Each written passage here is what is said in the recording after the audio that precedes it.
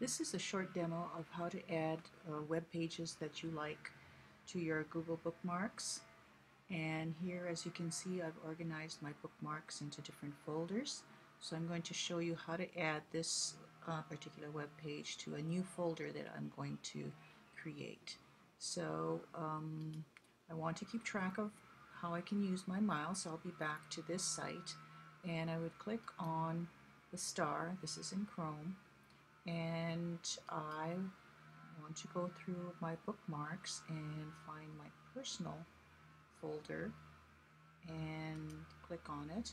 But none of it nothing there family all of those have nothing to do with travel. So I want to add a travel folder. So what I want to do is go all the way to the bottom choose another folder and uh, I want to make sure I'm in my personal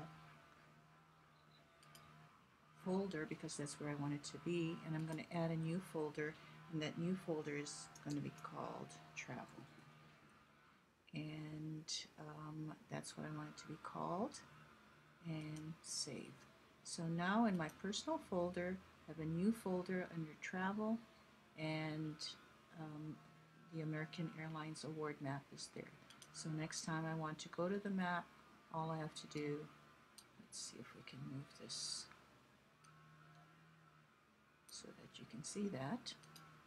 All I have to do is click on that and I will be right there. So very cool setup using bookmarks to organize your what you find on the internet.